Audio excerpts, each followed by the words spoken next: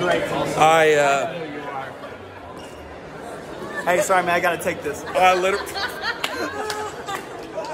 this guy runs by me with his phone out, and he pretended to be on his phone. He didn't want to say hi to me. There's Anyway. people everywhere. Hey, Brandon couldn't we be brothers? Yeah. And shouldn't we do something together? We really should.